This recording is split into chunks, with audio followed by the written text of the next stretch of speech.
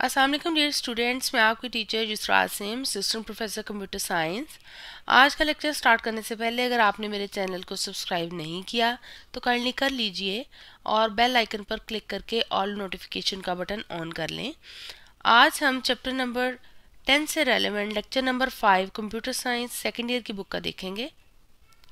आज का क्वेश्चन है what is escape sequence and what are escape sequences and what are its different types that are be being used in the C language.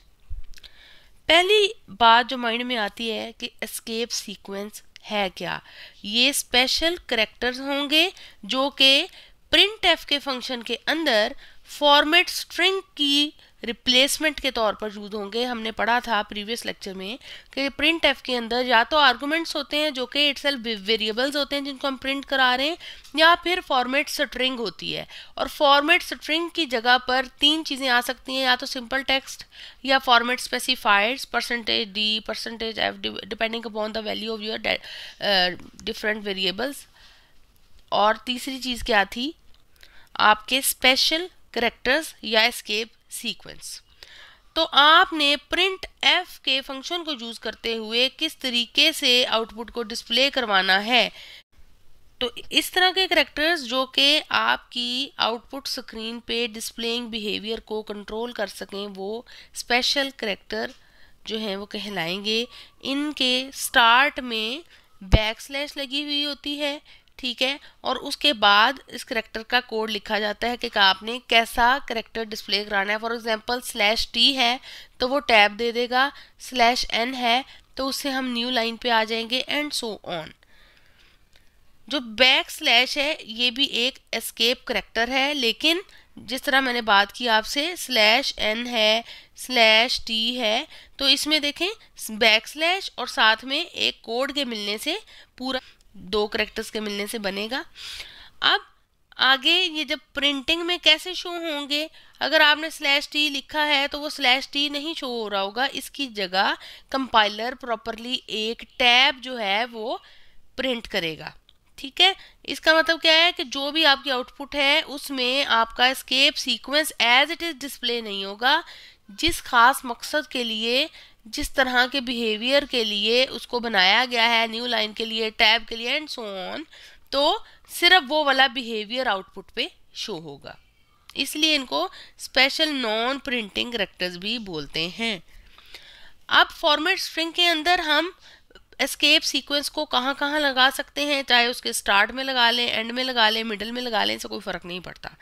For example अगर backslash N जो है, आपने new line insert करनी है और back slash N सिर्फ़ आपने use किया है तो उससे क्या होगा कि आपका कर्सर जहाँ पर ब्लिंक कर रहा था, उससे नेक्स्ट लाइन पे आ जाएगा।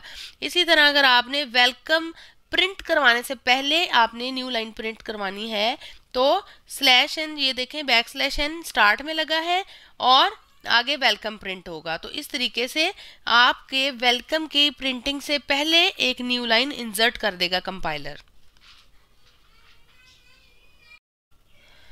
अब नेक्स्ट कौन कौन से एस्केप सीक्वेंसेस हैं जो कि हम फॉर्मेट स्ट्रिंग में यूज़ कर सकते हैं? Backslash N backslash T ये टैब के लिए यूज़ होता है। जिस तरह पाक, पाक प्रिंट हुआ हुआ है तो पी ए और के के मिड में स्पेसिस हैं। तो उनको देने के लिए बैक स्लैश टी यूज़ होगा बैक स्लैश ए ये अलार्म के लिए यूज़ होगा backslash B backspace के लिए यूज़ होगा बैक स्लैश आर जो है वो कैरेज रिटर्न के लिए यूज़ होगा। ये ने जो करंट लाइन है उसके स्टार्ट में कर्सर को लाने के लिए इस्तेमाल होता है। इसी तरह से डिफरेंट टाइप के एस्केप सीक्वेंसेस हैं। तो कौन सा एस्केप सीक्वेंस किस खास मकसद के लिए काम करता है? आप लोगों ने उसका मकसद जो है, वो गौर से उसको याद रखना है। ये ऑब्जेक्टिव के लिहाज से एक इंपॉर्टेंट एम साबित हो सकते हैं।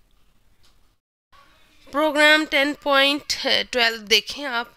इसमें आपने इस तरीके से स्टार्स को प्रिंट कराना है तो आप सिंपली एस्केप सीक्वेंस करेक्टर्स को यूज़ करते हुए ये काम कर सकते हैं। तो मेन के अंदर आप देखें प्रिंट एफ़ के अंदर इन्होंने किस तरीके से किया हुआ है कि स्टेरिक प्रिंट होगा, उसके बाद आपको नज़र आ रहा है, यहाँ पर न्यू लाइन आ गई है। तो न्यू लाइन के लिए बैक स्लैश एन लगाया है, फिर नेक्स्ट टू स्टार्स हैं, फिर बैक स्लैश एन फिर three stars and so on तो प्रिंट एफ़ की जस्ट एक लाइन से पूरी आउटपुट आपकी डिस्प्ले होगी।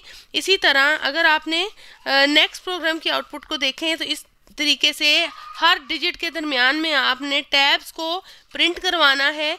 और स्पेसिस दे दे के प्रिंट करवाना है तो सिंपल इज़ दैट कि इन्होंने देखें, पहले वन को प्रिंट किया हुआ है, उसके बाद स्पेस के लिए बैक स्लैश टी को प्रिंट किया हुआ है, उसके बाद थ्री फिर बैक स्लैश टी फिर फाइव फिर backslash t and so on एक लाइन के अंदर ये डिफरेंट एस्केप सीक्वेंस करेक्टर्स को यूज़ करते हुए इन्होंने इस तरीके से आउटपुट को डिस्प्ले करवा लिया तो ये मोस्ट ईजी जो है, आपको प्रिंट एफ़ का यूज़ बता रही हूँ, ठीक है? तो इस तरह का प्रोग्राम भी पेपर में आ सकता है।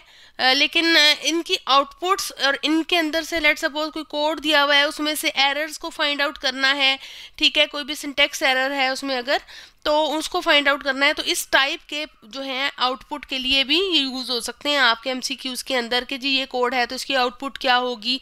तो आपको बड़े अच्छे से ये सारी चीज़ें आनी चाहिए। आज की वीडियो कैसी लगी, लाजमी बताइएगा।